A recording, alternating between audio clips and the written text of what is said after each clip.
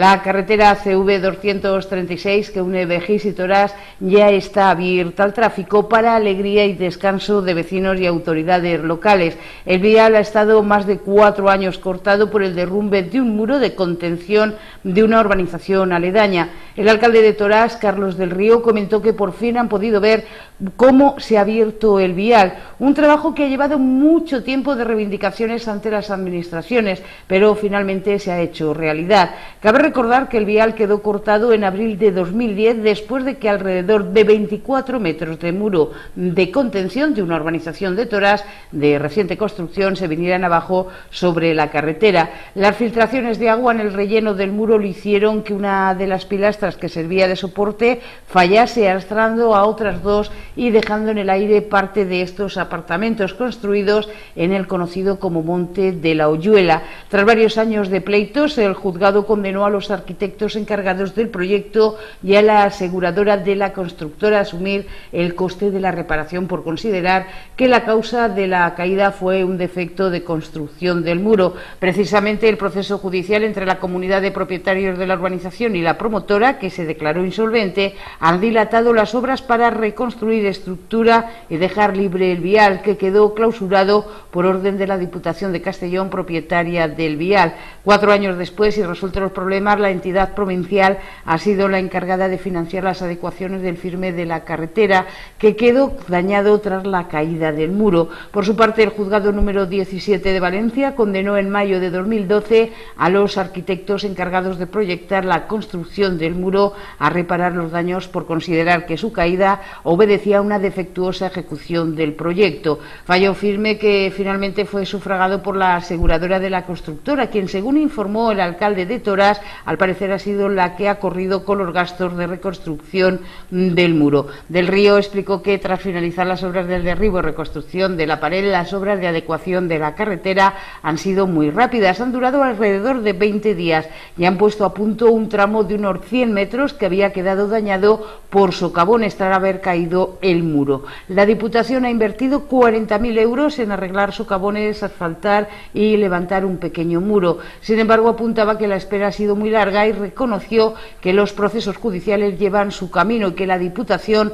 tampoco debía correr con esos gastos porque la causa de la caída del muro es la que provocó los daños en la carretera. Pero finalmente la propiedad es de la Diputación y han decidido actuar para adelantar ya que el Ayuntamiento no disponía de capital para hacerlo. La semana pasada tenía lugar en el Ayuntamiento de Segorbe el acto de presentación del Campeonato de España por Autonomías que se celebrará el 28 y 29 de junio en los municipios de Navajas, Segorbe y Jérica. El acto lo presentaron Vicente Martínez, representante del club en el Consejo Municipal de Deportes de Segorbe, Rafael Calvo, alcalde de Segorbe, Rafael Redondo, presidente de la Federación Valenciana de Trialdón y Vanessa Huesa, directora técnica de la Federación. También asistió Nuria Morrió, una de las deportistas de la selección valenciana. El Ayuntamiento de Segorbe albergó la presentación de una de las competiciones nacionales de triatlón de más emoción y nivel deportivo, ya que se compite por selecciones autonómicas. Al Campeonato de España de triatlón por autonomías acuden los mejores deportistas de cada comunidad autónoma. Cada selección la componen seis chicas y seis chicos y competirán en una prueba sprint el sábado y un relevo mixto el domingo de distancia super sprint. Prueba que reúne a nombres tan importantes del triatlón nacional e internacional como Emilio Aguayo, Jordi Pascual, Roberto Sánchez Mantecón o Eliana Cris Sotelo y Natacha Faria, que acuden con la selección valenciana. A destacar también la participación de José Miguel Pérez Martínez, que fue olímpico en Londres 2012 y acude con su selección representando a la Federación de Castilla-La Mancha. Vicente Martínez destacó la colaboración del Club Alto Palancia Ayuntamientos de Segorbe, Jérica y Navajas, que junto con la Federación Valenciana de Trialdón han logrado formar un perfecto tándem organizativo. El representante del club agradeció también la colaboración de los voluntarios en la prueba y de todas las instituciones de la comarca. Rafael Redondo comentó aspectos técnicos del campeonato y el programa horario. El sábado la competición la abrirá una prueba Open cuya organización cumple 25 años y a la que hay inscritos 200 personas, con lo que se prevé que la cifra de participantes sea en torno a 400. Para inscribirse tienen que visitar la página web de la Federación de Trialdón de la Comunidad Valenciana en el apartado Inscripciones. Este año eh, hemos apostado eh, por el, el 25 aniversario del trialón que en su día eh, se realizaba en la comarca del Alto Valencia, concreto en Navajas. Yo creo que es un buen momento para apostar por una prueba importante como es este Campeonato de España, donde van a venir eh, selecciones eh, de todas las comunidades autónomas del territorio español. Y por lo tanto agradecer la colaboración del Ayuntamiento de Segorbe, donde hoy en día estamos, y Rafa Calvo personalmente, que tiene, ha tenido mucho interés en que, en que se hiciera esta, este evento, porque realmente, y yo también, que yo también yo soy de Navajas, y la verdad es que cuando empezamos hace 25 años, pues a lo mejor no pensábamos que en algún momento tendríamos una, una competición de tanta envergadura aquí en nuestra comarca. La primera prueba del Campeonato de España será a las 6 de la tarde con la salida de la élite masculina desde el Pantano del Regajo. La élite femenina saldrá a las siete y media de la tarde desde la misma localización. La meta de la prueba está situada en el paraje natural de La Esperanza, lugar idóneo para la práctica deportiva en la naturaleza, lo que convierte este campeonato en una bonita experiencia para los deportistas por la peculiaridad de su emplazamiento. El segundo día de competición tendrá lugar la prueba de relevos, en la que los mejores deportistas de cada selección disputarán una prueba de distancia super sprint. La salida de esta prueba será a las 10 y tendrá como lugar de partida y llegada el pantano del regajo. Rafael Redondo destacó la importancia de traer un campeonato nacional a la comarca por la campaña de promoción turística que supone y el impacto que significará a corto y medio plazo. Ya quedará a conocer la zona para la práctica deportiva y la situará en el mapa nacional del trialdón. Eh, desde la Federación eh, es nuestro interés eh, también desarrollar este tipo de actividades y campeonatos en zonas no típicamente turísticas como puede ser la costa, sino que también hemos apostado por actividades en el interior de nuestras comarcas de la Comunidad Valenciana. Y una prueba de ello pues, es este Campeonato de España donde vamos a dar a conocer a toda España, porque vienen representantes de todas las comunidades autónomas, como he dicho antes, van a conocer nuestra comarca, va a ser un referente, van a vivir, van a estar unos días, un fin de semana con nosotros, 200 eh, deportistas eh, de toda España, los mejores de toda España, y van a conocer nuestra comarca, nuestro pantano, la Esperanza, el pueblo de Segorbe, pueblo de Navajas, y para nosotros pues es uno, uno de los objetivos también como federación, objetivos cumplidos. ¿no? Rafael Calvo, alcalde de Segorbe, destacó el esfuerzo del ayuntamiento por traer grandes campeonatos a la comarca, puesto que repercute en la capacidad hotelera por la alta ocupación durante el fin de semana y en las empresas de servicios, cuyo volumen se incrementará notablemente y se estima que el impacto económico supere los 100.000 en el fin de semana, además de retorno que supone posteriormente, ya que se ha dado a conocer la comarca un nutrido grupo de deportistas y visitantes que acudan a ver la competición. Eh, el impacto que podemos tener en este momento puede oscilar alrededor de los 150-200 mil euros, lo que realmente puede tener de impacto, tanto por las personas que realmente participan como con aquellos que vienen a ver la prueba. Entonces, a nivel fundamentalmente de restauración y hoteles, eh, la una o dos noches que puedan estar, más las comidas, más el gasto que puedan hacer las personas que vengan, hay que pensar que con el ciclocross tuvimos una presencia de alrededor de unas 2.000 personas que se acercaron aquí a, a Segorbe. Eh, hubieron en la comarca pues esas más de 300 pernoctaciones y lógicamente las comidas que se pudieron eh, plantear. En este caso pues es un poquitín más reducido, son 200, pero no sabemos si, por ejemplo, las personas que van a acudir a presenciar será mayor que eso. Luego también es cierto que van a estar en tres lugares diferentes. No es lo mismo como el ciclocross que estuvo eh, en un sitio permanente.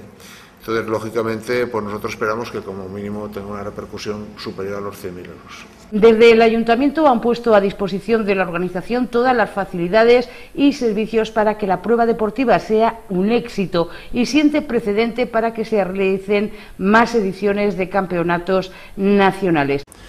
Mi reconocimiento y mi agradecimiento en este momento a los ayuntamientos de Jérica y de Navajas que colaboran y que participan también en esta prueba con lo cual, conjuntamente con el de Segorbe, pues también configuramos otro trialón de municipios donde ponemos eh, a disposición pues, parajes, infraestructuras que son necesarias para poder llevar a cabo esta competición.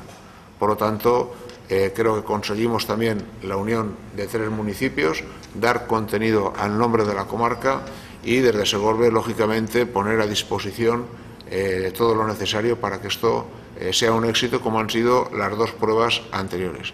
Vanessa Huesa, directora técnica, informó de que la selección valenciana parte con posibilidades de estar en el podium, ya que el pasado año ocupó la tercera plaza y en esta edición lleva un grupo de deportistas muy homogéneo, con campeones nacionales e incluso resultados internacionales en varias categorías. En concreto, los deportistas convocados por la selección son Emilio Aguayo, Jordi Pascual, Roberto Sánchez Mantecón, Víctor Benajes, Amancio Guerrero y Álvaro Campos en élite masculina y Natacha Faria, Eliana Cris, Sotelo, Nuria Morrió, Miriam Roselló, Carmen Naturil y Noelia Juan en élite femenina. En la rueda de prensa también se presentó las nuevas equipaciones de la selección valenciana confeccionadas por Mobile Sport, marca que es patrocinador de la prueba y estará presente en el evento para los posibles interesados en adquirir alguno de los diferentes modelos. Izquierda Unida del Alto Palancia se solidariza a través de un comunicado con la situación de los cientos de trabajadores afectados por los diversos expedientes de regulación de empleo que han tenido un impacto directo en el personal técnico de los dos parques naturales de la comarca, Calderona y Espadán. Izquierda Unida del Alto Palancia también recuerda que pese al anuncio del conseller Serafín Castellano de que el personal de refuerzo de la campaña de verano iba a comenzar a trabajar a partir del 15 de mayo, fecha de inicio de la preemergencia extraordinaria decretada por el Gobierno valenciano, las fechas de incorporación de vigilantes y de apertura de torres ha sido la misma de otros años, con mejores perspectivas meteorológicas. Asimismo, Izquierda Unida del Alto Palancia viene detectando en las últimas semanas la contratación totalmente arbitraria de personal sin seguir ningún tipo de selección pública, contradiciendo el argumentario legal empleado en la puesta en marcha de los expedientes de regulación y, por lo tanto, contradiciendo los. En estas contrataciones destacan las realizadas a personas vinculadas con el Partido Popular y también con algún alto cargo del Partido Socialista y, en algunos casos, ocupando cargos de cierto relieve sin tener ningún tipo de forma técnica. E Izquierda Unida del Alto Palancia considera que Baersa tiene que ser un instrumento dinamizador de los recursos humanos y ambientales de las comarcas de interior. La formación considera irrenunciable la realización de una auditoría y el respeto a los puestos de trabajo, especialmente del personal técnico. En este sentido, las necesidades laborales que puedan determinarse deben de cubrirse perfectamente con los jóvenes cualificados de las comarcas de interior, recordando, por ejemplo, la gran cantidad de jóvenes del Alto Palancia que en los últimos años han obtenido titulación como técnicos forestales y que la actual situación de Baersa les impide tener un canal de incorporación al mercado laboral que les permita poner en práctica sus conocimientos sobre nuestro territorio. Contratación de nuevo personal en Baersa debe regirse por criterios similares a los que se rige en la contratación en el sector público, mediante oferta pública y con procesos de selección justos y transparentes, según concluye Izquierda Unida del Alto Palancia en su comunicado. El Servicio Territorial de Energía en Castellón ha aprobado el proyecto de ejecución de un ramal para el suministro de gas natural en el municipio de Navajas, que discurrirá por este término y el de Segorbe. El punto de inicio es una válvula situada en el polígono segorbino de La Esperanza y la ubicación final se sitúa en el cruce de la calle de La Esperanza y la carretera CV 213. El Ayuntamiento de Segorbe ha adjudicado el contrato de suministro de un vehículo para la plantilla de la policía local. El presupuesto base de licitación asciende a 30.600 euros, más el 21% del IVA, de modo que el importe total se eleva hasta los 37.026 euros. El contratista es la empresa Andacar 2000. Se trata de un acuerdo de arrendamiento sin opción de compra, según publicaba el Boletín Oficial de la provincia.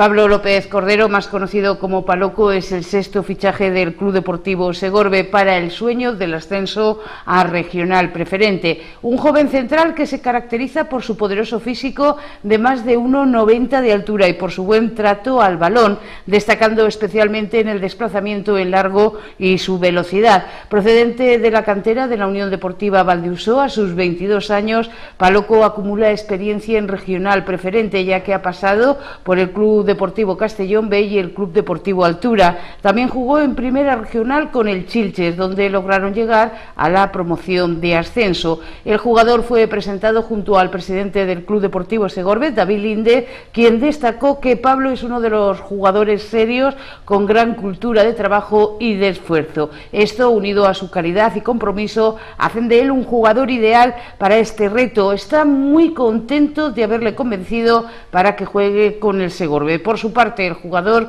expresó su alegría de venir a Segorbe y aceptar en todo momento el sueño de intentar ascender a preferente. El Club Deportivo Segorbe siempre ha sido un grande de la provincia y ahora tienen la misión de recuperar esa grandeza. Tiene muchas ganas de empezar a jugar en Segorbe. Cree que trabajando duro podrán lograrlo lo que se propongan.